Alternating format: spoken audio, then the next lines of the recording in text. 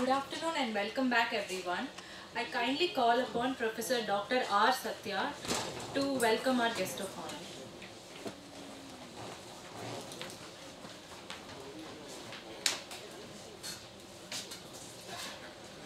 So good afternoon all. So I'm here to introduce uh, Dr. Praveen Kumar, Assistant Professor, Senior Grade, uh, Department of Civil Engineering, uh, PSG College of Technology. So it's my pleasure to introduce uh, Dr. Praveen Kumar. Dr. Praveen Kumar obtained his PhD degree from Anna University and Masters in Computer Methods and Application in Structural Engineering from Coimbatore Institute of Technology. His current research focus is on engineered cement composites, nanosilica based materials and concrete, graphene based mortar and concrete, various optimization technique, microstructures of construction materials, fiber reinforced hollow concrete blocks. So he has published more than uh, 24 papers in reputed journals and also have received grants from various uh, government agencies such as CSIR and UGC for organizing workshops, seminars, FDPs and training programs. And he has also delivered more than uh, 20 keynote addresses in various FDP training programs and conferences.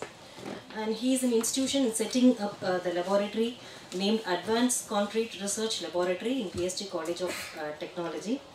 Uh, he holds a lifetime membership in various professional bodies such as Indian Society for Technical Education, Institute for Engineers, Institution of Engineers, Indian Society for Construction Materials and Structures, Indian Association for uh, Structural Engineering. So these are the uh, few mem- membership bodies I have listed out. So we are very happy to have you here, sir. Thank you.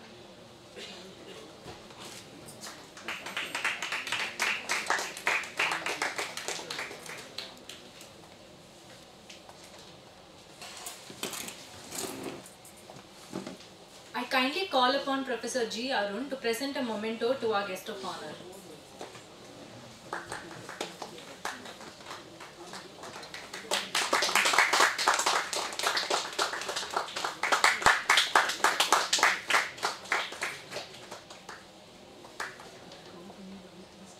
I kindly request our guest of honor, Dr. S. Praveen Kumar, to take over the session.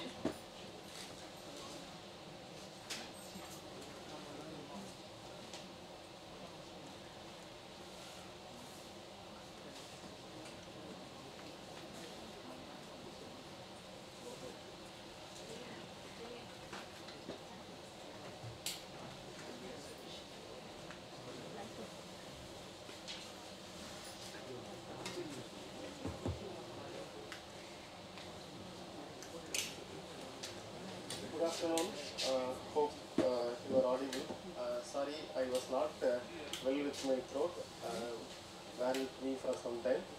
Uh, first of all, I would like to thank uh, HOD Madam and the management for providing this opportunity to come over here to deliver a lecture on the topic which I am doing currently in, the research.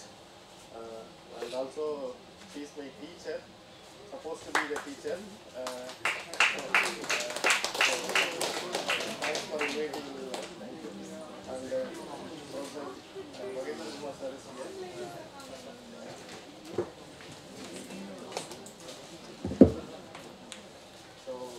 in front of them, uh, doing a presentation is a, a pride moment for me uh, here in uh, PhD. Last week only we met uh, uh, Mahendra Kumar sir. Thank you. Thank you once again for the opportunity. So, uh, basically, my outline of my presentation will be on uh, the introductions. So, since uh, uh, I was thinking that uh, mostly the presentation will be attended by the students, I have uh, content of introduction which tells you more about the cement chemistry and the concrete so that uh, uh, the remaining part of my presentation will be made very easy if you understand the introduction part. So these are the research areas currently we are working on. One is high performance concrete, engineered cementitious concrete, nanosilica based concrete and the graphene based concrete. So uh, for a brief thing that uh, concrete is a composite material and it is a combination of different components which improves their properties. Uh, in case uh, you have a component called binder, so for example, uh, if a material which is supposed to be called as a binder, it should have a property of a hard crystalline or amorphous state which is supposed to form a matrix of a composite material. So if you take uh, the classifications of concrete, so we have a types of binders. So uh, in previous days, before we get a terminology called cementitious material or mineral admixtures, whatever it is, we use this as a binder and in many places we call this as a glue.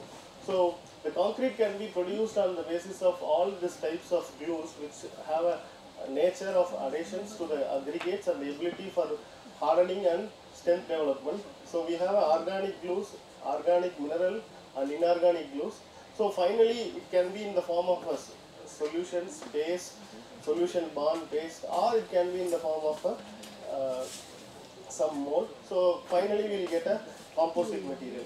So apart from cement, we have uh, other types of cementitious material. Just for better understanding, I have shown only three types. There are a lot of things available. Maybe morning uh, uh, scientists from SCS would have given you a list how the uh, how many materials are available in the other than Portland cement. So this is a production place where you have a blast furnace slag. So from the iron ore and the impurities, then it will be in the shifted to the high uh, temperature, and finally you will get a slag here. So this slag can also be used for your replacement, which will be in the form of a binder. So then fly ashes. So normally we used to get uh, uh, two types of fly ash. One is dry fly ash, and another one is the wet fly ash. In the cooling tower, whatever the material that comes down in the form of a dry form, so that fly, fly ash will be used in the place of a cement. And similarly, the wet fly ash also currently we are using in the form of a liquid, which will be used for the place of uh, hollow blocks and paver blocks, other things. And this is a uh, form of uh, silica fume. So there, there is a possibility of having a condensed silica fume in the market. So the basic ingredients of the concrete, so in the form cement, water, coarse aggregate and the fine aggregate. So these are the percentage in conventionally we have with the cement um, uh, concrete that is 43 percentage of coarse aggregate, 34 percentage of sand and 15 percentage of cement and 8 percentage of uh, water. So uh, since uh, we talk about binders, so it is very important to understand about the gypsum and the lime. So previously, before we get a material called cement, it was uh, proposed with the cement and the gypsum, which have an idea about the cycle of gypsum and the calcium carbonate. Later, I will uh, talk detailing about this in the uh, concrete performance. So this is a history just for better understanding how the uh, Portland cement arrived in the market and then this is the principle of Portland cement that it bringing with a high temperature then grinding and pulverizing. Then finally what is the need for having these kind of Portland cement in the concrete? Is supposed to have a strength to the masonry stiffness and hard, hardness then good plasticity and excellent binding material easily workable and moisture resistant. So uh, the very important thing is of uh, cement chemistry, so which deals with the two things. One is oxides that present in the uh, cement, and as well as the compositions. So, for example, if you have a raw material, you will uh, able to get a component elements in the raw material that is O2, Si, Ca, Al, and Fe. And the oxide things are CaO, SiO2, Al2O3. So all these things. So in general, when we start doing all the research activities in the market, so we used to have uh, the definitions for an alternative for the material which defines from XRF. So the data of oxides will be taken into account and from that we will be able to go for the compound uh, analysis that is uh, these are the three components that is four components that is very essential to have a strength to have a durability or any kind of property that has to be enhanced in the alternative material which we use conventionally in the place of a Portland cement. So these three or four are very important. So that is what I have listed here. That is C3A, C3A, then C4AF and C, uh, C2AF. So all this uh, hydration process that takes place when the cement is mixed with the water. So what is the main uh, composition that takes place is CaO uh, it is a proportion of uh, 60 to 65, SiO2 is the proportion of 70 to 17 to 25 and Al2. So the main major thing that plays a vital role in the alternation for the cement is SiO2. So whenever we select any material to be used as an alternative for the cement, those materials are supposed to have a higher percentage of silicon dioxide as well as there should be some possibility of having a minimum percentage of calcium oxide also. So this is a Bogue component. I hope uh, in your uh, concrete technology, these are the basic things. Why I am highlighting these basic things is when we start doing uh, the activities at the level of higher level of research, the basic things are very essential to interpret certain data that we arrive from the experimental part or the analysis which we carried out with the, the sophisticated equipments like uh, XRD or TEM or SEM, all those things. So after understanding the basics that how this com- composites or the component that takes places during when you mix the cement with the water, then you have a very clear cut picture that how there are possibility of having enhancement in the ettringite formation, monosulfate. silicate. So all these things contributes towards something. I'll show you. So what happened with uh, your mineral components when you take a tricalcium silicate, it generates heat rapidly and more, and uh, hydration process also it gets more rapid uh, process. Then the less resistance to the sulfate attack. Similarly for the tricalcium aluminate, so it is weak against the sulfate attack and it reacts fast. So I hope you understand uh, when we start working with any material, if we understand the oxide compositions, we'll be able to define the material very easily how it is going to perform in the future that is after 28 days or after 365 days how the material will perform in the structure. So for example if you have high percentage of C3S that is tricalcium silicate and low percentage of uh, dicalcium silicate then the result will be rapid hardening and high early strength with the low. Now we may have a question how we are going to define all these things in the material which we are conventionally use as an alternative material for the cement. Say there are certain procedures that has to be followed in such a way that we get this post component and ensure that all the required parameters are satisfied with the existing Portland cement, not more or less with respect to the total provisions, right? So, for example, if you take a strength con contributions, so you can see the graph, the time after the mixing, the strength. So, uh, this is for the one year, providing the moisture is present, the cement can continue to hydrate for a many years. However, after about one year, the rate of hydration is slow, that is assumed to be fully hydrated and therefore we achieve the full strength. So, this is supposed to be the presence with all the compositions which I gave you, that is C3A, C2S, C3S and C4AS. So uh, the different colors, for example, if you take C2S, so this is the C2S uh, during the mixing, how for the one year proportion, how this takes place. So similarly, during the process of hydration, how the heat is evolved. So this is also a graph which represents. See, when you understand these kind of basics about the materials, then it will be easy for you to project this in your higher level of research, then it is easy to pr predict or interpret the data which we arrive from the experimental part. For example, this is a simplified uh, uh, illustration of your hydration of the cement process. So as I told you, the four materials which is in the form of a fresh cement is mixed with the water. Next it is for 15 minutes. So now you will have a protective layer called as ettringite formed on the aluminate and after 3 hours how the picture changes. So there is a formation of CaCl hydrate and after 28 days there will be a change in the whole structure. So this possibility of having will be only with respect to the composition that takes places with respect to the cement, right? So majorly, uh, similarly, when you have a uh, calcium sulfate in a very low manner or in a higher level of the content of cell calcium sulfate in the higher level or lower level, what will happen to your material? See, we used to have a terminology called flash set, false set and the normal set. That happens. So on addition of your water with the cement, so if there is a too little sulfate in the solution, then automatically it will go for a flash set.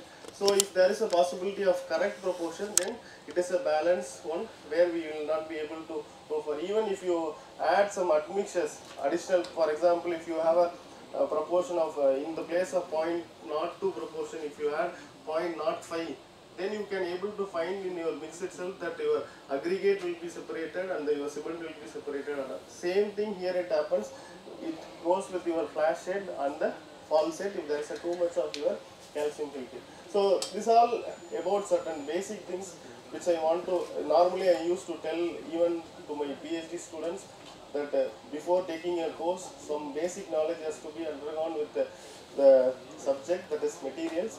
So once they are very clear with the materials, then automatically for the higher level of research, then it will be easy for them to predict certain data and identify and interpret the data, right? So coming back to the form of that, as I told you, we call it as a binder, we call it as SCM, mineral mixture. There are a lot of terminologies available for the alternative materials. So as per your ASTM C19, sorry, uh, 593, so it defines that a material which has a siliceous, that is, that is what I mean in the previous slide in the table, silicon dioxide, right? Silica content, the presence of silica content itself which has a value towards the addition as an alternative material. So for example, you have any pozzolana which reacts with water plus lime will form a CS hydrate. So similarly, the Portland cement plus pozzolana plus water will form a. See, our ultimate objective when you go for an alternative, we are supposed to create a calcium silicate hydrate in the formation during the process of hydration. If you are able to see visually, it, it may not be able to see visually, microscopic level, if you are able to observe certain things, CSS formation, then the material which you are identified is a suitable material in the place of a Portland cement. So that kind of understanding is required. So only we are now changing our mentality to have a high resolution uh, uh, microscopic analysis like TEM transmission electron microscopy. Like that we have a sophisticated thing. So in India, so the cement production normally in 2010 it is of about 200 million tons of cement is produced. So in 2050 there may be a huge demand. Even now I was in contact with some cement companies. There is a huge demand for ordinary Portland cement.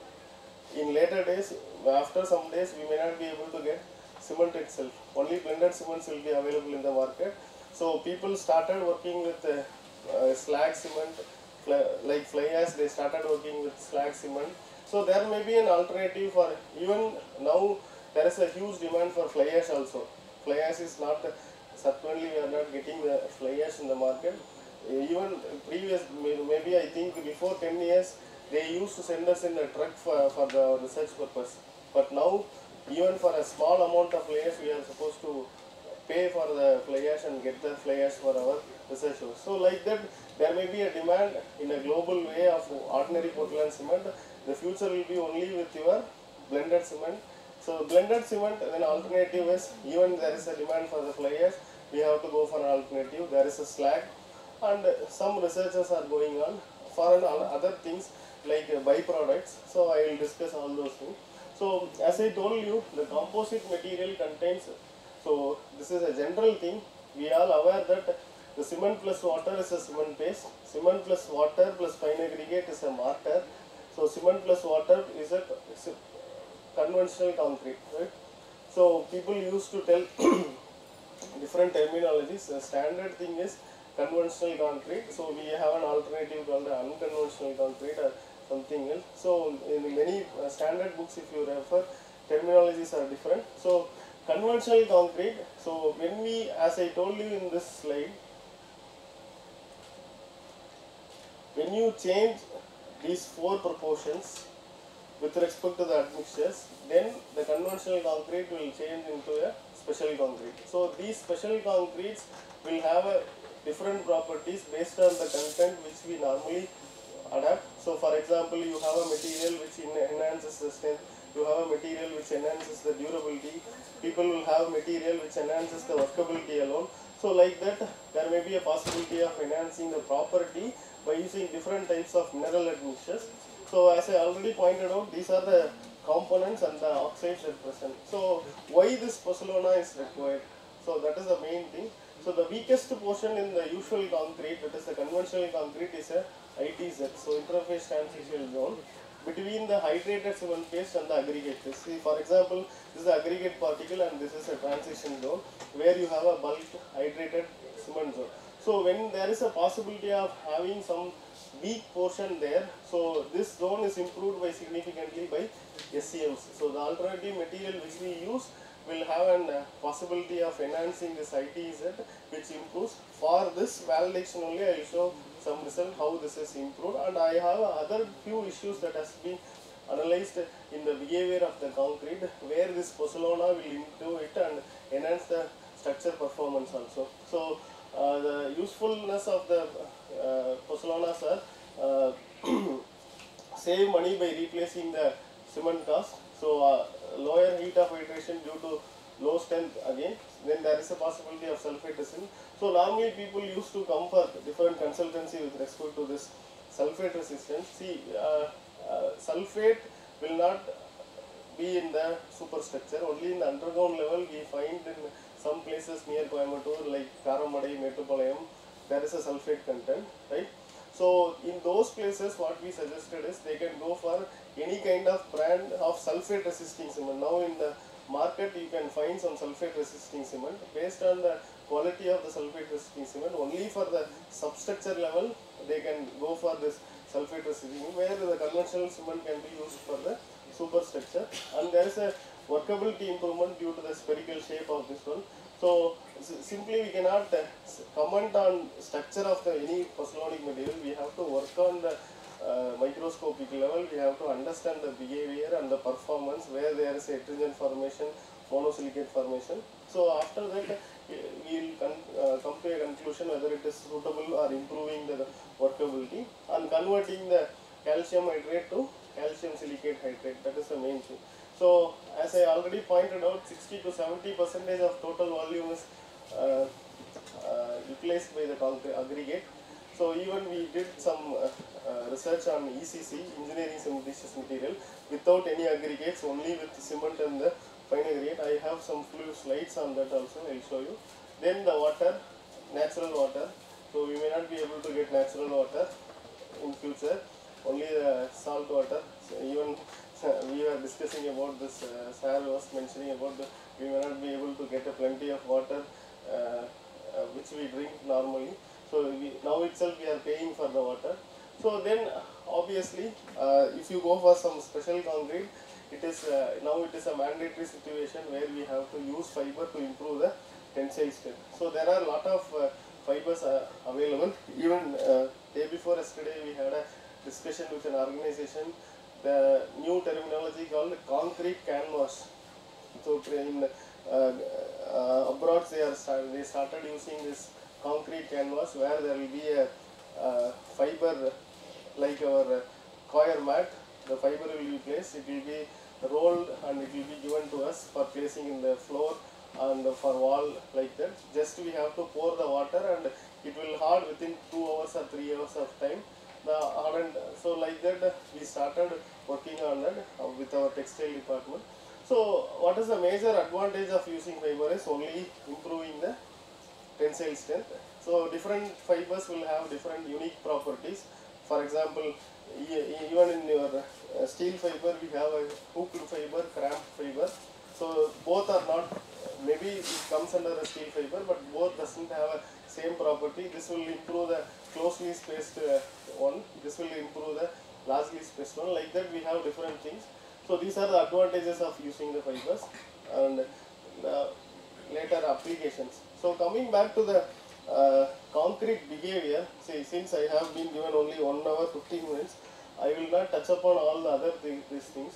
So only I will go for the introduction to embedded metal corrosion. So other things you can refer this book. You can find a wonderful